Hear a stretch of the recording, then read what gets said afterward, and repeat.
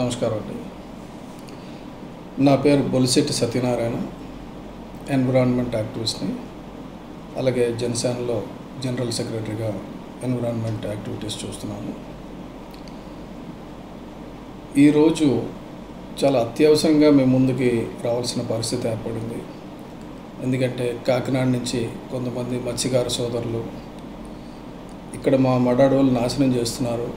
మీరు దయచేసి రండి అని అడిగితే లాక్డౌన్ సందర్భంగా వెళ్ళలేని పరిస్థితుల్లో వాళ్ళ తాలూకా దుస్థితిని మన ముఖ్యమంత్రి గారి దృష్టికి అలాగే మన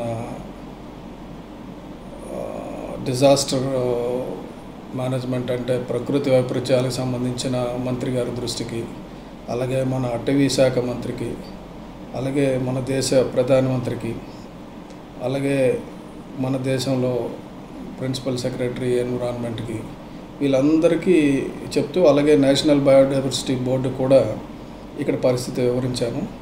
ఇక్కడ కాకినాడలో ఏవో మడడవులు కొడుతున్నారు ఏదో ప్రాబ్లం ఉంది అని చెప్పేసి చెప్తున్నారు. అసలు ముందు మడడవులు అంటే ఏంటో తెలిస్తే మనం దాన్ని ఎందుకు దాన్ని రక్షించుకోవాలి అవసరమైతే దాని గురించి ఈ కరోనా లాక్డౌన్ టైంలో కూడా రోడ్ ఎక్కాలి అన్నది మనకు అర్థమవుతుంది. ఎందుకంటే ఈ కరోనా వైరస్ వ్యాప్తికే ఒక రకంగా బయోడైవర్సిటీ లోపించడం జీవావాసాలు తక్కువ తగ్గడం వల్ల జంతువులుకి ఆవాసం లేకపోవడం వల్ల అలాగే ఆ జంతువులను మనుషులు తినడం వల్ల జంతువుల్లో ఉండవలసిన వైరస్లు మనుషులకు కూడా సోకి.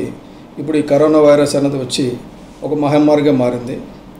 ఇప్పుడు మన దేశంలో ఉన్న మండడుల గురించి జస్ట్ ఇక్కడ చిన్న ఇది చూపిస్తాను మీకు.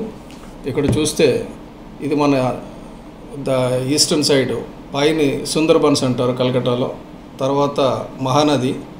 ఆ తర్వాత ఇది కృష్ణా గోదావరికి సంబంధించిన కాకినాడ దగ్గర ఉన్న మడాడవులు అలాగే కావేరి. ఈ ఇటువైపు వెస్ట్ కోస్ట్లో రెండు ఉన్నాయి గుజరాత్లో ఒకటి అలాగే అక్కడ గోవా దగ్గర ఒకటి. సో ఇది ఇవే మాత్రం ఉన్నాయి మనకి భారతదేశంలో. అలాగే ప్రపంచం మొత్తం మీద చూస్తే రెండు లక్షల స్క్వేర్ కిలోమీటర్స్ మాడాడవులు ఉంటే మన దేశంలో నాలుగు వేల నాలుగు వందల ఎనభై రెండు స్క్వేర్ కిలోమీటర్స్ ఉన్నాయని గతంలో లెక్కలు తీర్చారు. దాంట్లో దాదాపు ఫార్టీ పర్సెంట్ గృహావసరాల గురించని అలాగే ఫామ్ ల్యాండ్స్ గురించని కొట్టివేయడం జరిగింది. ఈ మడాడవుల తాలూకా పరిస్థితి ఏంటంటే ఒకసారి వాటిని డిస్ట్రాయ్ చేస్తే మరి ఇంక తిరిగి పుట్టవు. అది ప్రకృతి సృష్టించవలసిందే కానీ మానవుడు పెంచడానికి అడవుల్లాగా పెంచడానికి వీలు పడే పరిస్థితి లేదు. కాబట్టి దీన్ని ఎలాగైనా సరే పరిరక్షించాలని చెప్పి ప్రపంచం మొత్తం మీద ఒక ఉద్యమం లాగా పర్యావరణవేత్తలు కృషి చేస్తున్నారు. సో దాని ప్రకారంగా మనకి కూడా ఇదివరకు చాలా చట్టాలు ఉన్నాయి దీంట్లో రక్షించడానికి. అంటే స్వాతంత్రం రాకముందే Indian environment and forest act అని చెప్పి బ్రిటిష్ వాళ్ళు పెట్టారు నైన్టీన్ ట్వంటీ సెవెన్లో. దాన్ని అది ఇప్పటికీ మనకు అమల్లో ఉంది. అది కాకుండా పంతొమ్మిది వందల డెబ్బై రెండులో వైల్డ్ లైఫ్ ప్రొటెక్షన్ యాక్ట్ అని ఒక అంటే అడవిలో జంతువుల్ని వేటాడకుండా వాటిని ప్రొటెక్ట్ చేయడానికి అని చెప్పేసి వాటిని రక్షించడం గురించి అని ఒక యాక్ట్ తీసుకొచ్చారు.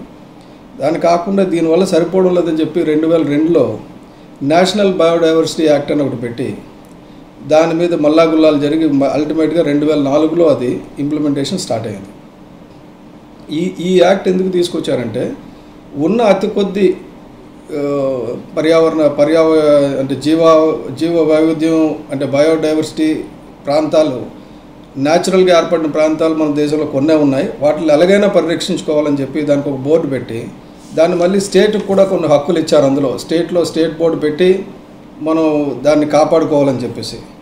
ఆ విషయంలో కూడా స్టేట్కి కొన్ని హక్కులు ఇచ్చారు. స్టేట్కి ఇచ్చిన హక్కు ఏంటంటే మీరు బయోడైవర్సిటీ బోర్డు ఒకటి పెట్టండి. పెట్టి మీరు ఎవరైనా ప్రజలు దాన్ని వయోలేట్ చేస్తే శిక్షించే హక్కు ప్రభుత్వాలకి రాష్ట్ర ప్రభుత్వాలకి కేంద్ర ప్రభుత్వం ఇచ్చింది. అయితే ఇప్పుడు పరిస్థితి ఏంటంటే మన రాష్ట్ర ప్రభుత్వమే ఆ బయోడైవర్సిటీని వయోలేట్ చేస్తుంది. ఇప్పుడు మనం ఏం చేయాలి? అంటే ప్రస్తుతం మన ముఖ్యమంత్రి గారు కోట్లు చీవాట్లు పెడితే తప్పించి తప్పితే వినే పరిస్థితుల్లో లేరు. ఇప్పుడు ఈ ఇక్కడ కాకినాడలో వంద ఎకరాలు మడడవుల్ని సెలెక్ట్ చేసుకున్నారు జగన్మోహన్ రెడ్డి గారు. అలాగే అక్కడ ఆయన ఎమ్మెల్యే ద్వారపూడి చంద్రశేఖర్ రెడ్డి గారు కలిసి మరి కన్నబాబు గారు కూడా ఉన్నారేమో నాకు తెలియదు మంత్రిగా అక్కడి నుంచి. వీళ్ళు ఏం చేశారంటే కాకినాడలో ఒక వంద ఎకరాల మడడవులు నాశనం చేసి పేదలకు ఇల్లు కడతా ఉంటారు. పేదలకు ఎక్కడ ఇల్లు కట్టాలంటే సురక్షితంగా ఉన్న ప్రాంతంలో కట్టాలి. మడడవులు అంటే సముద్రంలో సముద్రానికి మన భూమికి మధ్యలో ఉన్న భాగంలో ఏర్పడే ప్లేసులు. అక్కడ ఏమంటే నార్మల్గా టైడల్ వేవ్స్ని కంట్రోల్ చేయడానికి ఏదైనా ఉప్పును వస్తే కంట్రోల్ చేయడానికి ఆ మడడులు అడవులు పనిచేస్తాయి అలాగే వా- వాటిల్లో ఉన్న జీవ వైవిధ్యం వల్ల అక్కడ చేపలు పిల్లలు పెట్టుకోవడానికి అలాగే పీతల పిల్లలు పెట్టుకోవడానికి రొయ్యలు పిల్లలు పెట్టుకోవడానికి ఉపయోగపడతాయి. అటువంటి ప్రాంతాన్ని నాశనం చేయడం అంటే అక్కడ ఒక రకంగా మత్స్యకారులని మత్స్యకారుల తాలూకా భవిష్యత్తుతో ఆడుకోవడం. అందు గురించి వాళ్ళు ఇది మొదలుపెట్టిన దగ్గర నుంచి చూస్తే ఫిబ్రవరి ఇరవై ఎనిమిదో తారీఖుని AP housing ignores green rules అని న్యూస్ పేపర్లో వచ్చింది. ఆ తర్వాత మార్చ్ ఒకటో తారీఖుని mangroves made way for homes అని చెప్పేసి డెక్కన్ క్రానికల్లో వచ్చింది. అలాగే మార్చ్ తొమ్మిదో తారీఖుని environmentally subject clearing mangroves for house sites అని వచ్చింది. అలాగే మార్చ్ నాలుగో తారీఖుని ఫిషర్మెన్ అబ్జెక్ట్ చేస్తున్నట్టు వచ్చింది. ఇప్పుడు ఏప్రిల్ ఎనిమిదో తారీఖుని ఫిషర్మెన్ రోడ్ ఎక్కారు. అందరూ పెద్ద ఎత్తున చేస్తున్నారని ఏప్రిల్ ఎనిమిదో తారీఖు అంటే ఇప్పుడండి మనకి ఇంకా లాక్డౌన్ అమ అమలవుతున్న పరిస్థితిలో. అక్కడ లాక్డౌన్ నడుస్తున్నప్పుడు ఇక్కడ ఉన్న ప్రజ ప్రజల పరిస్థితి ఒకసారి మీరు చూడండి వాళ్ళు పడుతున్న గోళ సోషల్ డిస్టెన్స్ ఏమైనా ఉందా?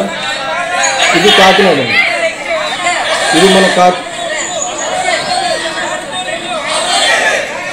ఇంతమంది మత్స్యకారులు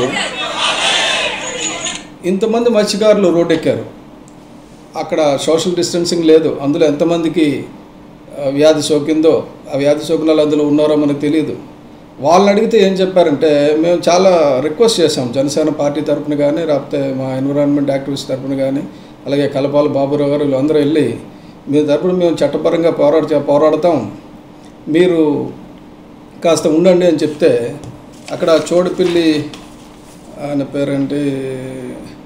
మూగి రాజు అలాగే చోడపిల్లి అని ఒక అతను వీళ్ళందరూ కూడా చాలామంది అక్కడ పనిచేస్తున్నారండి అక్కడ ప్రసంగ ఆదినారాయణ మా నాయకుడు వీళ్ళందరూ ఉన్నారు. వాళ్ళందరిని అడిగితే వాళ్ళు ఏమంటారంటే ఒక ఒక చక్కటి మాట చెప్పారు. మా జీవితం మీద మా జీవనోపాధి మీద దెబ్బ పడుతున్నప్పుడు మేము దానికి మాకు ఈ వ్యాధి వస్తారాదో రాదో తెలియదు కానీ మా భవిష్యత్తు అయితే నాశనం అయిపోతుంది. ఈ మోడీ గారు లాకౌట్ చేసిన ప్రా టైంలో వీళ్ళు ఇక్కడ పని చేయడానికి ఎవరు పర్మిషన్ ఇచ్చారు? వాళ్ళు పనిచేస్తే మేము ఆపడానికి రోడ్డు ఎక్కుతా ఉన్నారు. కాబట్టి నేను ముఖ్యమంత్రి గారికి సవినయంగా మనవి చేసుకుంటున్నది. ఇమీడియట్గా అది ఆపండి. అక్కడ జరిగిన తప్పులను సరిచేయండి. అక్కడ భూముల్ని డెఫినెట్గా పేదలకి కాదు గొప్పలకు కాదు ఎవరికైనా సరే ఆ ప్రాంతం అన్నది నివాసయోగ్యం కాదు. అది బయోడైవర్సిటీ జోన్ అది. దాన్ని బయోడైవర్సిటీ జోన్ కింద డిక్లేర్ చేసి కాపాడండి. రాకపోతే పర్యవసానం చాలా తీవ్రంగా ఉంటుంది. ఇప్పటికే మీకు కోర్టులు చాలా అక్షంతలు వేస్తున్నాయి. ఇంకా ఎక్కువ అక్షంతలు వేసేటట్టు ఉంటుంది అది ఎందుకంటే అది అది పద్ధతి కాదు. మీరు ఈ బయోడైవర్సిటీని నాశనం చేసి అది కూడా ఇటువంటి బయోడైవర్సిటీ తాలూకు ఇంపార్టెన్స్ మొత్తం ప్రపంచానికి తెలిసి వచ్చేటట్టు చేసింది కరోనా. కాబట్టి అక్కడ బయో చిన్నది ఒక ఒక ఎకరం ఉన్నా ఆఖరికి ఒక మొక్క ఉన్నా సరే కాపాడాల్సిన పరిస్థితిలో ఉన్న మనం వాటిని నాశనం చేస్తున్నాం. ప్రభుత్వ అధినేతగా మీరు నాశనం చేస్తున్నారు. నాకు మరి ఏ రకంగా ఏ భాషలో చెప్పాలో నాకు అర్థం కావడం లేదు. ఎందుకంటే మా మాకు కొద్దిగా సభ్యత నేర్పించారు పవన్ కళ్యాణ్ గారు కూడా. మా మాకు పరుషంగా మాట్లాడొద్దు అని చెప్పేసి. నేను మాత్రం ఒకటి చెప్తున్నానండి దోరపూడి చంద్రశేఖర్ రెడ్డి గారికి కానీ అక్కడ ఉన్న డిస్ట్రిక్ట్ కలెక్టర్ గారికి కానీ మీరందరూ జైలుకి పోతారండి.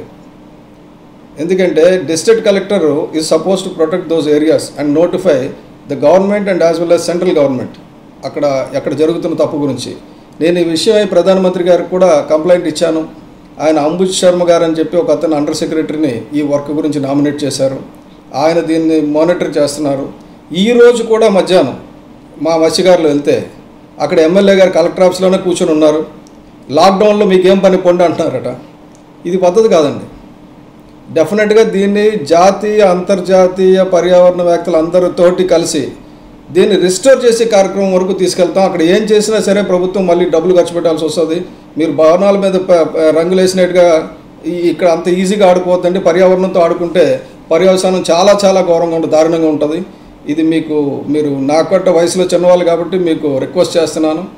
లేకపోతే మీకు చేతులెత్తి నా దండం పెడదను ఎలా చేయమని చెప్పేసి. కానీ తప్పనిసరిగా మీరు కానీ యాక్షన్ తీసుకోకపోతే ఈ లాక్డౌన్ అయిపోయిన తర్వాత పర్యవసానం చాలా తీవ్రంగా ఉంటుందని నేను చెప్తున్నాను. ఎవరికైతే మీరు మత్స్యకారుల జీవన జీవితాలతో ఆడుకుంటున్నారో ఆ మత్స్యకారులతో కలిసి మీరు చేసిన అన్యాయాన్ని అరికట్టడానికి మేము ప్రయత్నిస్తాం. కానీ ఈ మ ఈ మడ నాశనం చేసి మళ్ళీ తిరిగి రావు కాబట్టి ఈ రోజు నుంచి ఈ క్షణం నుంచి ఫర్దర్గా డిస్ట్రక్షన్ చేయొద్దని చెప్పి మీ ద్వారా ఈ మీ ఈ వీడియో ద్వారా ముఖ్యమంత్రి గారికి నేను హెచ్చరిస్తున్నాను. అలాగే స్థానిక ఎమ్మెల్యేకి చెప్తున్నాను. మీరు అక్కడ ఉన్నవాళ్ళు అక్కడ ప్రాంతం మునిగిపోతుంది. ఈ మడాడోలు కానీ లేకపోతే అక్కడ కాకినాడ పూర్తిగా జలసమాధి అయిపోతుంది. అక్కడ టైడల్ వే వస్తే.